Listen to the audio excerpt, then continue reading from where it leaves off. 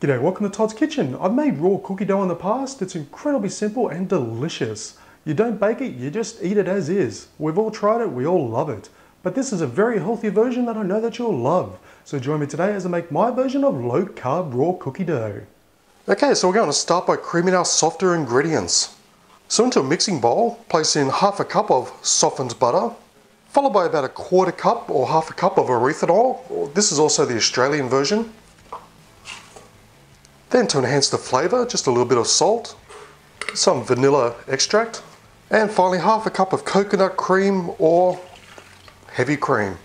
Now I don't recommend milk simply because that has too many carbs in it compared to heavy cream or coconut cream. Then we're simply just going to cream it all together until it's well combined.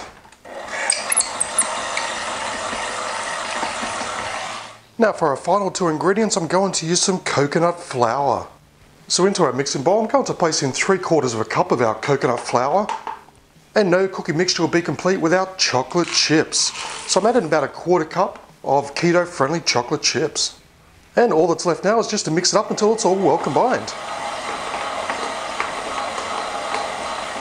And there we have a very easy, very delicious keto cookie dough. Now, this definitely isn't a cookie dough that you can just bake with. This is purely meant to eat raw. It's very safe and very keto friendly. Literally took just a couple of minutes to prepare and it is done. And seriously, who didn't grow up eating raw cookie dough? It's just delicious.